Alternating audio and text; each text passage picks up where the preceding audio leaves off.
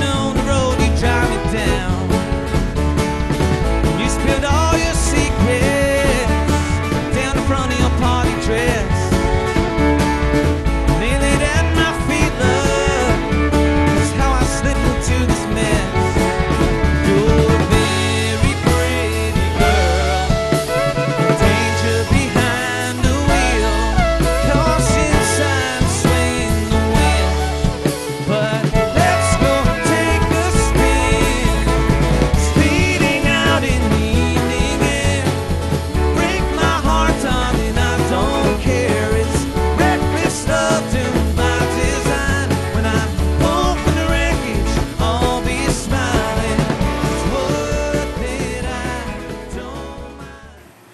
little bit of a look at what just happened here.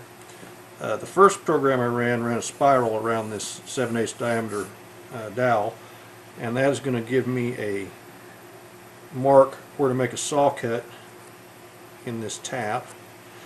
The second program actually cut a quarter by eighth inch slot all the way through then it hesitated or it stopped it rotated four degrees moved over 30 thousandths and ran what essentially a four degree uh, taper down one side.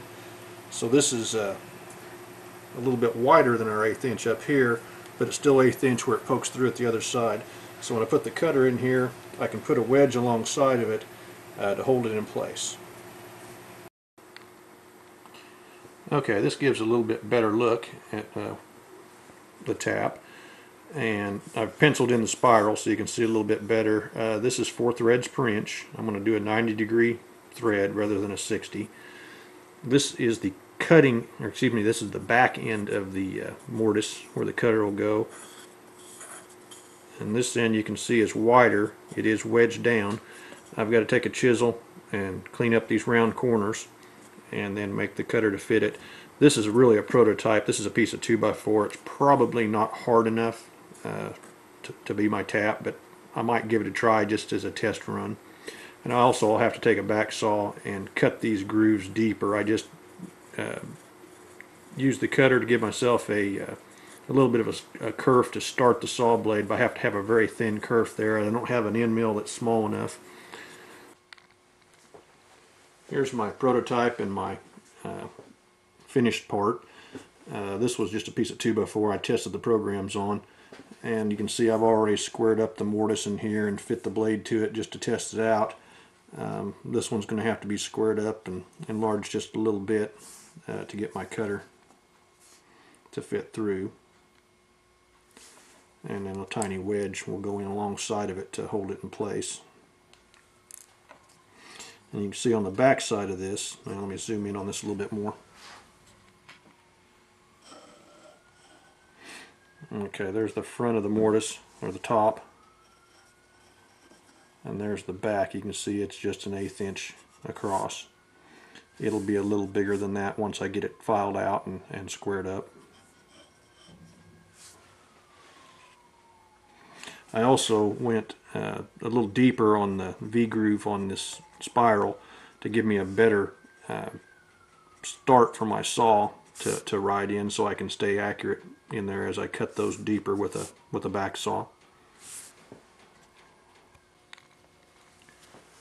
Well, I got the, the part mortised out and you can see the, the cutter that I've got to still cut this part off but you can see the point of it sticking out here. And if you look closely you can see the wedge in behind it. This is the fat end and this is the the narrow end back here so I can just use a screwdriver to push that back out uh, when you're cutting the threads, this is probably a little deeper than I would start the first cut. Um, and as you make progressive passes, you keep moving the uh, cutter out farther until you get to your full depth.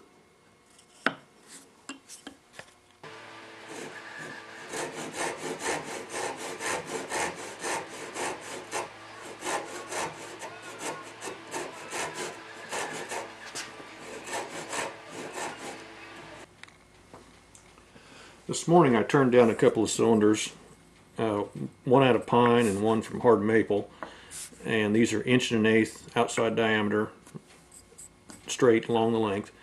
Um, this will be the pine one is just for a test cut. I'm going to cut this as a as a screw, and hopefully, if the test cut proves out, I'll go ahead and make this hard maple uh, screw, and it'll be a usable part for for my next project. Well, my test run worked out pretty good. The threads are nice and sharp.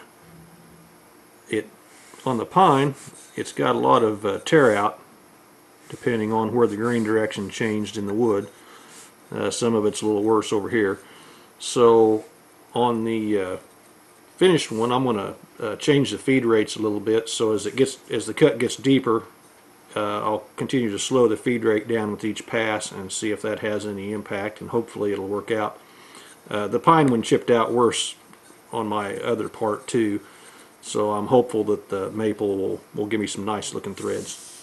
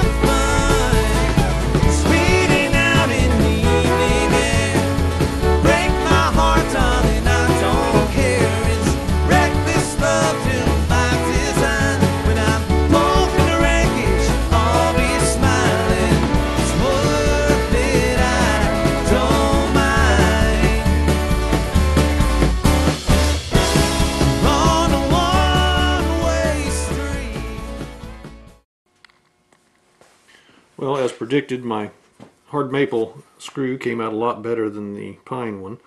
You can see I've got a lot of ragged tear out back on that on that pine. I have one tiny little tear out right here on this thread. That's the only chip in any of the threads. It came out as perfect as I could have hoped for. So uh, I've re uh, the program to uh, incorporate the feeds that I used on this one, where they progressively get slower and uh, I'd run it on 80%. So I went ahead and, and adapted the feed so I can run it 100% and get the same feed rate. So I'm ready to make some more now. All I need is some more material. So next weekend I'll have to make a trip to the lumber supply.